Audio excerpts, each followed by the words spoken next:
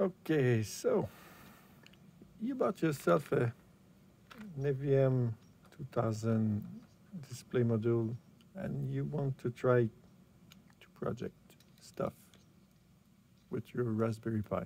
So like everyone, you saw the, the website and you checked that you can plug the whole, all the cables between the, um, the display module and your Raspberry Pi. If uh, you take your time and carefully um, wire the whole parallel port to the uh, to the display. And once you're done that, you discover that it doesn't work. So today I'm gonna show you how to to uh, connect your Raspberry Pi to the EVM 2000 using this uh, little board I made. Uh, you can you can contact me if you uh, need one.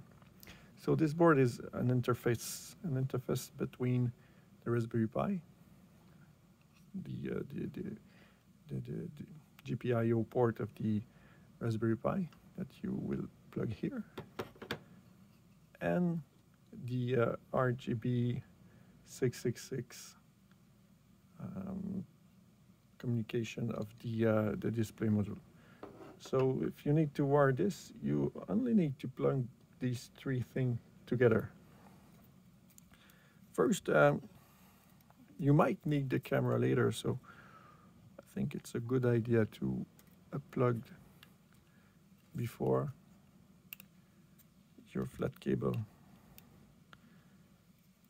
because once once everything is is put together, it's very difficult to uh, to plug in the uh, the camera the camera cable. So you plug the camera cable of your Raspberry Pi before. um, this this looks okay.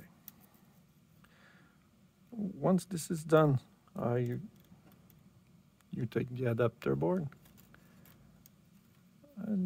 just align the pins and you plug them together like this. And before you push too much uh, I use these uh, these small pins just to link the board together later.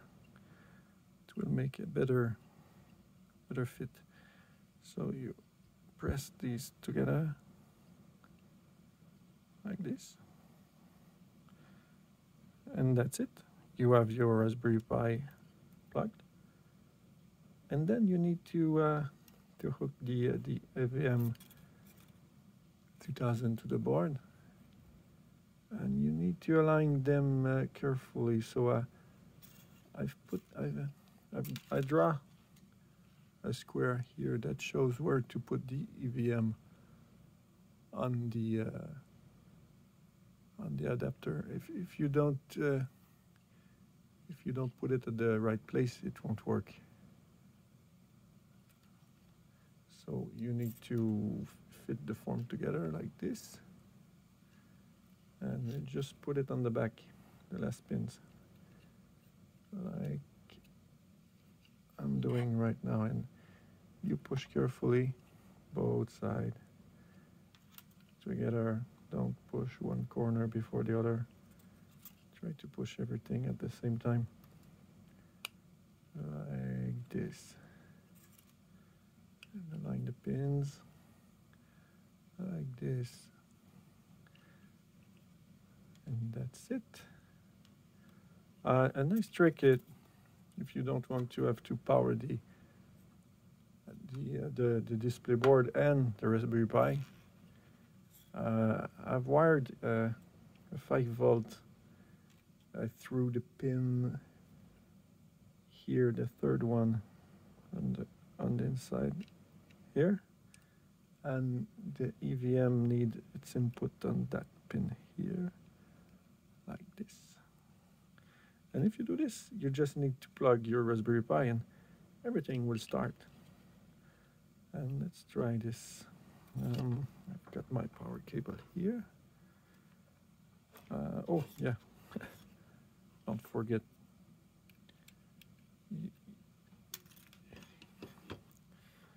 the card.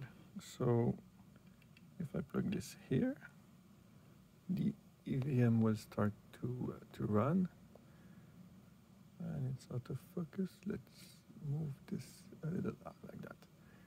Great. So it's booting.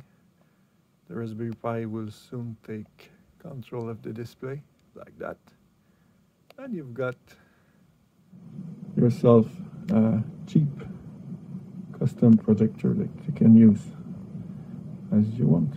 Um, and that's it.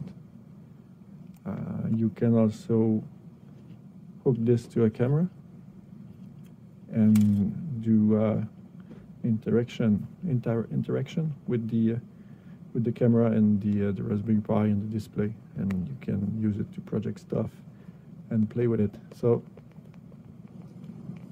if you need if you need uh, the the board, contact me.